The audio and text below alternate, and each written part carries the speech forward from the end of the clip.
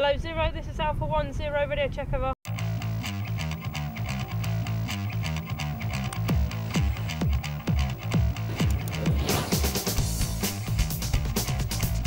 A communication systems operator allows officers and troops the ability to talk to each other, which gives us a battle winning edge. Yep, good traffic. As a communication systems operator, I provide a wide range of communication devices, radios, computers, um, satellite communications. The service we provide as a communications operator is to basically um, set up working nets on different radio systems. Zero, this is Alpha One Zero. Most of the time we're providing a link between detachments or a link to a HQ.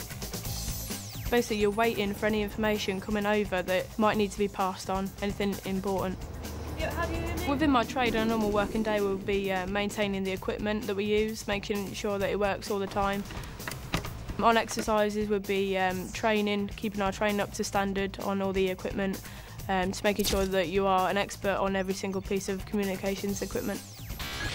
You are trusted to um, make sure everything's going to plan on your own and you get left alone.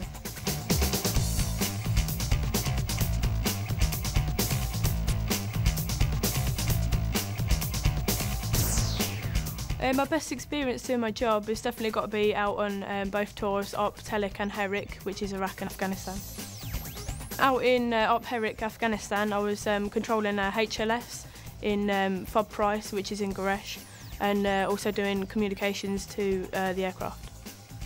We had quite a few casualties come in and we had to do comms to the aircraft um, to let them know um, notice the move times for the casualties to arrive. Good communication systems operator is enthusiastic, motivated. Uh, Self-motivation is a big thing in my trade.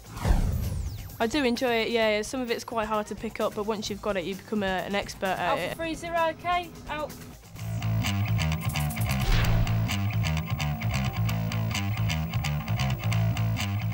When I did my trade training, I first off went to one squadron, which is sort of like introduction for weeks, and then you get loaded onto your course and you start off with the basic skills towards your trade. What we need to do is get our backlight on on our radio. There's quite a few subjects involved in your trade, from voice procedure, um, computer skills. Um, I remember the classrooms being quite intense work, but um, a good laugh, good, you know, good crack with the lads. All the instructors are really helpful. If you need one-to-one guidance, you know, they're there to help. Not all of it's in the classroom. Um, there's quite a number of um, subjects that you do do outside, um, including antennas. Whilst it is tangled, make sure that